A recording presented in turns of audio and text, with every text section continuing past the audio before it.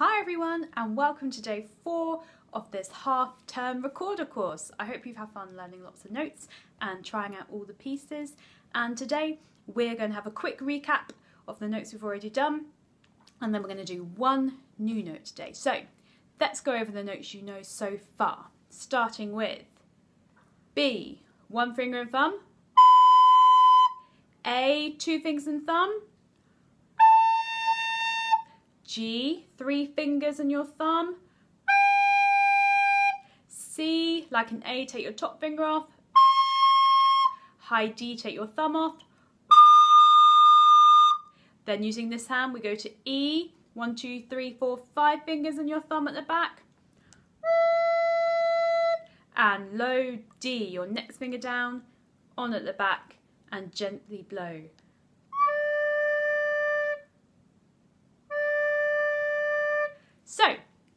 Hopefully you are familiar and comfortable with playing all those notes. Today we're going to do a new note and it's called high E. Now, this is super easy because you already know what low E is. So try working out, before I play it to you, try playing an E on your own and see if you can get it to come out.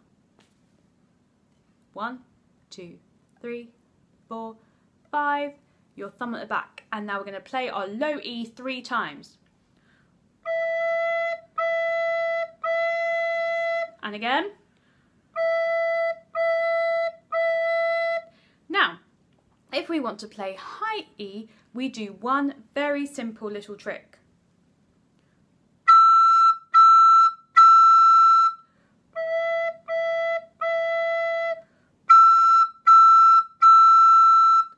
Now, you didn't see what I did because this trick is hidden at the back of the recorder using this little hole. So if I play low E, I cover this hole with my thumb like this.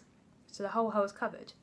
If I want to play high E, I keep my front fingers the same.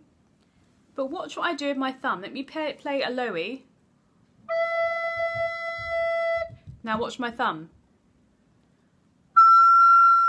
And again, low E, high E, do you see that I'm pinching my thumb into the hole? So instead of covering the hole, I'm pinching my nail into it. So I'm only half covering the hole. So watch, covering, half covering. I pinch my nail into the hole. So only half of it is covered. And this makes it go up the octave and you can play high E. So here's a low E again. Remember my thumb is completely covered. Then I'm to do my high E. I'm to pinch my thumb. Like that. Low E, high E,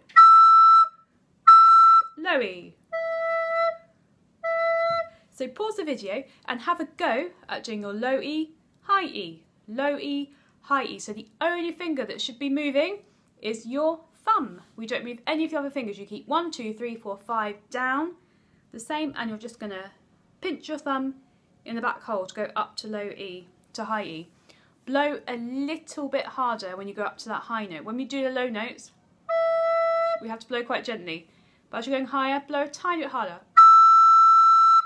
Like that. So pause the video and have a go before we move on to learn a new piece today. So our new piece today is going to be a piece called Spring by a man called Antonio Vivaldi, who was an Italian composer, and composer is someone who writes music. And he wrote a piece for violin and orchestra and it is called The Four Seasons. Now, as you know, we have four seasons, don't we? We have spring, summer, autumn and winter. And he wanted to write music that sounded a bit like those seasons are. So this is one of my favourite pieces of music ever. And one thing that my children really like doing is they like listening to the piece, maybe lying down on the floor or sat at the kitchen table. And what they do is they draw pictures of what they think they can hear when they're listening to the music. So for example, when I played Autumn to them, it sounded like lots of raindrops falling and it sounded like leaves blowing all around. So they drew a picture of a forest with leaves blowing, rain falling down, people rushing to get home, and so on. So maybe you could try doing that after you've tried playing this piece on the recorder. If you go onto YouTube, I will put a link underneath this video so you can listen to the whole piece. It's an amazing piece of music and maybe you also could draw some pictures of what you think the different seasons sound like. Maybe you can even try and guess what the season is while you're listening to it before your mummy or daddy even tells you what the title is. So you could try guessing which one is summer, which one's spring, which one's autumn, which one's winter. It's an amazing piece of music. But today we're going to learn the first movement from spring season. So I'm going to play you how it goes. It uses our new note high E. So when I'm playing it, see if you can spot where the high E's are. Remember, they're going to sound much higher than some of the other notes we've learned. So I'll play it through once and then as is usual, the second time, the music will come up on the screen. We'll do it slower and you can play along at home. So here is Spring by Vivaldi from the Four Seasons.